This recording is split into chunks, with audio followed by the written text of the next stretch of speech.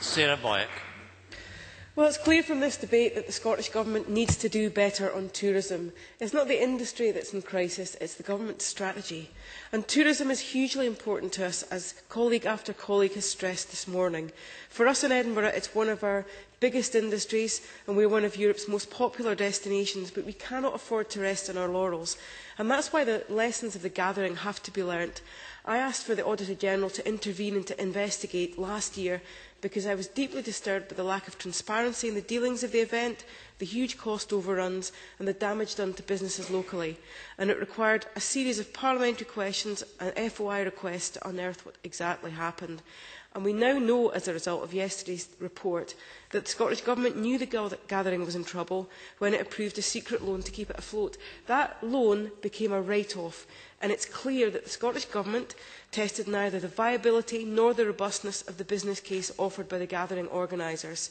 It's now also clear that the First Minister personally engaged in a round of phone calls to try and offload the company, desperately per- trying to persuade somebody to take the company on and save the Scottish Government's face. And the Auditor General's report is damning because it identifies a lack of due process. And due process is important. It's fundamental in a democracy. Moreover, the Scottish Government and the Council didn't have a full understanding of the position before they released information about the future of the company which is absolutely galling for the 103 local businesses who were misled by the statements that were released last year.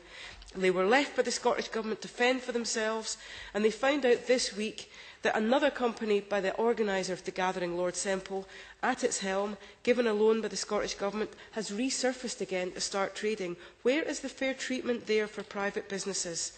The Auditor General is clear that lessons have to be learnt. due diligence clear expectations and performance indicators need to be agreed when large sums of money are being handed out.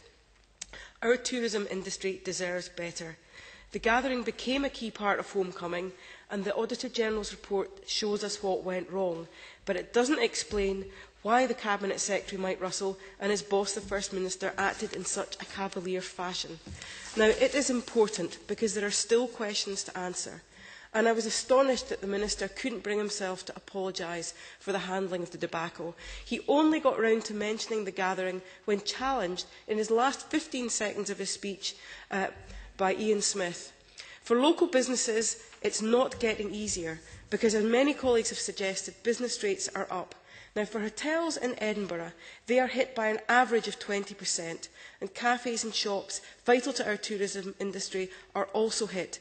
Now, when uh, myself and the uh, Edinburgh Chamber of Commerce met John Swinney, he did give us sympathetic noises about tax incremental finance and the specific need to avoid inconsistent decisions on individual rates, but he didn't offer any comfort on transitional relief. Now, SNP members have called for reality. Rob Gibson in particular asked for reality. The point made by the Minister is that it ignores the extra cash that the SNP government have taken in through re-evaluation this year. And there's a point made by the Chambers of Commerce that needs to be addressed by the Minister because they think that figure of £60 million could be higher. That's the answer that's been given to people in parliamentary questions. But the other point is that the timing of the revaluation is crucial. It happened when business was good, when, when the values of those properties were significantly higher than they are now. So businesses are getting a double whammy. They're getting hit by rate reevaluation at a point at which the, the value of their properties has plummeted and the value of their businesses is not as good, inflating values. And that has pushed up costs for business across the city. So the government is not making it easy for companies trying to deal with the salmon slump.